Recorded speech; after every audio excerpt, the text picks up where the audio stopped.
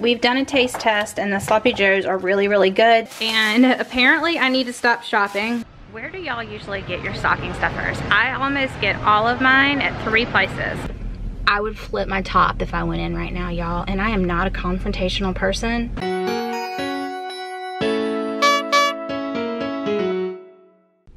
Hey y'all, hey, Erika with Time to Shrink. I'm back. It's been a while, but today we're vlogging or we're gonna try. This is gonna be my first day trying to leave the house since COVID, so let's go. I put on a Christmas shirt.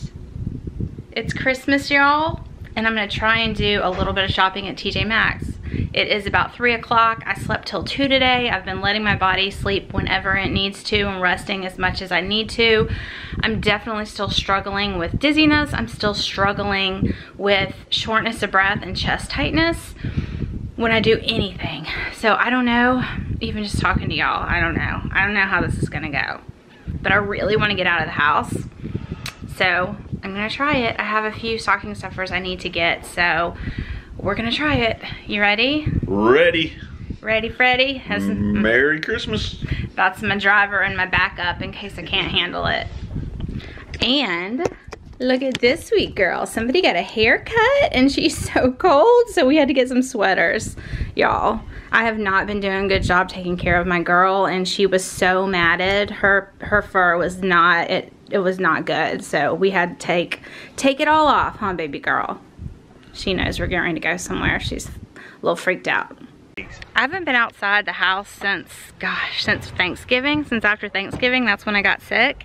And it is cold. It's turned into, it's turned into cold winter here in South Carolina, apparently. It's chilly, y'all.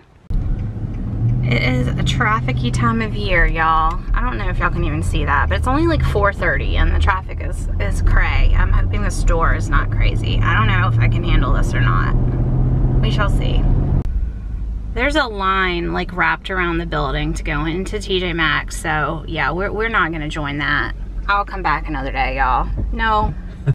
All right, so World Market looks like a go, so we're gonna try it. I'm already feeling short of breath and just from getting dressed and getting in the car and riding, so I don't know how I'm gonna do y'all, but like I need to try going out in public and try, I need to try, so let's see. One thing that we do every year, not we, Jason buys Caroline some kind of sweet jewelry every year and there's this store that's local to South Carolina called Handpicked. They have really cute jewelry. It's really small so I don't know if I'll be videoing in here y'all but we're gonna see real quick if Jason can find something for Caroline. Where do y'all usually get your stocking stuffers? I almost get all of mine at three places. World Market, Target, and TJ Maxx. So we're hitting World Market right now and it's not too bad in here so I think we'll be able to find some stuff. It's got this cool little like women in history section. Kind of cool. RBG workout. All right, we have to open this y'all. I wanna know what's happening here. Jason, open this for me. An RBG workout. What the heck?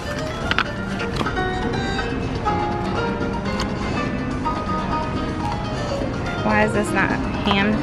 I don't understand. I don't understand. Why, why do we have an RBG workout, y'all? How she stays strong and you can too. All right. There's the cute little avocados. Look at all of the hot sauce. Like it's never ending. And some of them don't have prices. Like this is one I've almost ordered online so many times, this truffle hot sauce, but it's so expensive. Um, I guess it's only $3.99 though, or $5.99, I don't know. And then mustards. This is one of my favorite products that they sell here at the store. These salami whips are so good. The regular ones, eh, they're okay. The Hatch chili pepper and the picante, these are like my favorite thing, y'all. I love these. All the Pocky, y'all. My kids love Pocky. More hot sauce, y'all. So much hot sauce. I thought these kits were so cute. Grow some aloe or grow some cactus, but they're $20, y'all. I was gonna get that for Caroline's stocking, but yeah, I, I think now.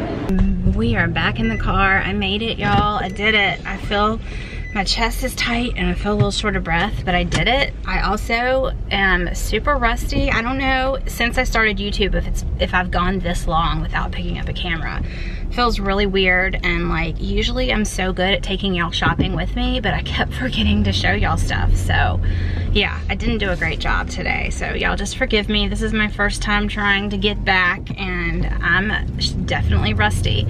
We're gonna head home now. I really wanna go get Five Guys, but we're not because I can totally make hamburgers. I have ground beef that I need to use. So we're gonna try and fight the traffic home, I guess. All right, so we're stopping at Lowe's Foods to go. Um, we've been doing all of our food like pick up and not going in the stores pretty much. And they sometimes really frustrate me. You know how usually, I don't know why I have this on, there's nobody out here. Oh, I'll talk to you in a minute. So what I was saying is I ordered a beef tenderloin because it was $12.99 a pound, which is amazing. So Lowe's calls and they're like, it's actually $16.99 a pound, so we'll be charging you $16.99, even though it said $12.99 online, and they acknowledged that it did. Like every other grocery place that you order things from, if there's a price difference, they adjust, you get the lower price, always, right? And if they replace a thing, item for item, you always get the better deal, right? No. And then just now I told her, well, if you can't give me that price, then I'll just, you can just have it back. And she was like, oh, okay, so we'll just credit your account. I don't want to credit my account. I want my money back. Or I want you to give it to me at the price that you advertised it at online. Like, every time we deal with this store, I love their quality, but their customer service sucks. And we need to just stop ordering from this store, I think. So, if you have a Lowe's, do y'all have those issues? Now they won't give me my money back, y'all, unless I park and go in and talk to guest services. Are you freaking kidding me? I'm so mad. I was gonna make Jason go in and deal with this and go park, and he took the key, so I can't even move. So I'm just gonna sit here while he goes to deal with this. I would flip my top if I went in right now, y'all, and I am not a confrontational person and I probably don't have the breath to handle this right now, but I'm never coming here again. I'm done with this store. Jason's been telling me I need to be done with this store. Sorry. I I'm done with Lowe's. All right, y'all, we are home. I made it, and apparently I need to stop shopping because Jason's like, Erika, we already have a ham. Why did you buy another ham? Uh, y'all, my mind is not really right since COVID and I think I've been shopping online for groceries and poor Jason keeps going to pick them all up and I keep reordering things apparently so I need to stop. We're totally going to be doing a no spend in January but I guess I didn't need that ham. Here's the infamous beef tenderloin. The manager ended up giving it to us for the $12.99 price, which he totally should have. Kind of ridiculous, but whatever. We came home with the beef tenderloin and $12.99, that's a great price for it. We got some bacon, some more bacon, some andouille sausage. I love to have this on hand to do like chicken bog or jambalaya type things, stuff like that. So all of this is gonna go in the freezer pretty much and then some eggnog for the kiddos. And then I just scanned my receipt for Fetch Rewards. And if you don't use Fetch Rewards, I totally, totally recommend it, y'all. I haven't talked about it in a while, I guess because I haven't talked to y'all in a while. But right now I have about 80,000 points and I use, I've already used hundreds of dollars of points for Christmas. I always save it up for Christmas and I have about $80 right now in receipts that I could still turn in. So that is really, really awesome. I'll probably use that still before Christmas. I don't know. I don't know if I will or not. But all you do is take a picture of your receipt and you get points. It's that simple. Then it's getting really dark in here. Sorry for the lighting. On another note, y'all, I don't think I've bought a whole beef tenderloin in probably like 20 years. Have no idea what to do with this. I'm gonna have to do some research because it's too expensive to mess up. And I know I can do like a roast portion that I wanna marinate and do, but I'm not sure how to cut steaks in it or how much of the fat you take off. I'm gonna have to do some research on that. So for dinner tonight, I'm gonna make like a spicy sloppy joe kind of y'all. So I'm gonna use some tomato paste and this is some hot tomato sauce and we'll use some mustard and some Worcestershire sauce and make some sloppy joes. All right, so my beef is done, y'all, so this doesn't work. Not the right size, Erika. All right, so we are gonna build some spicy sloppy joes. I can't even tell you the last time I made sloppy joes. And I don't even know how many pounds of meat this is. It doesn't look like it's quite two. So anyways, whenever I use tomato paste, y'all, I always do it in the middle. I like it to kind of cook out a little bit. So I put that in the middle and let it cook a little bit. And now we'll just add all of our seasonings around the outside. Keto Chop House. Oh, that was a lot. I can't even tell y'all the last time I cooked either, really. Like, I've put a few things in a crock pot, but this is yellow mustard. This, we're making them spicy, so this is ancho chili pepper. It's not super, the ancho isn't super um, spicy, but it's got a lot of flavor. And then we're gonna add some tomato sauce to this and some water, but I just kind of like, tomato paste just doesn't taste great if you don't cook it some. So we're just gonna let that cook a bit and we'll be right back. So this is, it's a Mexican brand. It's just hot tomato sauce, basically. El Pato hot tomato sauce. I like these for certain applications. I've never used it for sloppy joes, but we shall, we shall see, y'all. So we're gonna get this all combined. Oh, man overboard. I'm gonna turn this heat down to all the way to low. I always add just a little bit of Worcestershire, probably two tablespoons. So I guess a lot of it. And then we are going to add in a bunch of water. That was one cup of water. So we're gonna get this all stirred together and then I'll taste it to see if we need to do something different spice-wise or add more spice-wise. Um, but Andrew is my my youngest, Andrew, is my Sloppy Joe guy, and he does not like when I play with things. He likes it to be the way it always is, so he's not going to be happy with me already because I'm making this kind of spicy, but he does like spicy, so I don't know. We shall see. I will have him taste it and let y'all let y'all know, but I think everybody else will be super happy with it. All right, so we're just gonna keep this on low and let the water cook out. May need a little bit more water actually. We're gonna add some ketchup. That's what I forgot. I knew it wasn't saucy enough. We're gonna add about half a cup of ketchup. I'm using a sugar-free ketchup. You can use whatever kind of ketchup you want. And there, that's gonna give me the consistency I want. Now I'm just gonna let this cook down and then we'll taste it. All right, we've done a taste test and the Sloppy Joes are really, really good. So now I just kind of cook them on a medium low. Oh, almost hit my wine, y'all. That would be bad. Just kind of cook them on a medium low until it gets the nice thick consistency that I want. But I had my boys taste. I still don't have my taste and smell fully back yet. So I had them taste and they said that it's really good. So just got to get it to the consistency that we want and then we'll be ready to eat. I asked them what they wanted as a side. They said they'll have some a side of sloppy joes with their sloppy joes. they don't want anything as a side. So this is what we're having for dinner and then they'll probably put a piece of cheese on it. They like to eat it with cheese and just like a regular bun and I'll just eat it with cheese on it in a bowl.